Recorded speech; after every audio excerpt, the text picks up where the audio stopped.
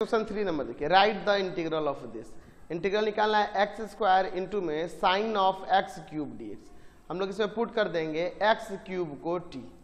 differentiate करिए with respect to x तो आ जाएगा three x square equal to में डी टी और बाई में डी एक्स यानी कि एक्स स्क्वायर डी एक्स को आप लिख सकते हैं डी टी और बाई में थ्री ध्यान से देखिए, ये एक्स स्क्वायर और डी एक्स ये हो गया आपका डी टी बाई थ्री और यहाँ पे ये आ जाएगा आपका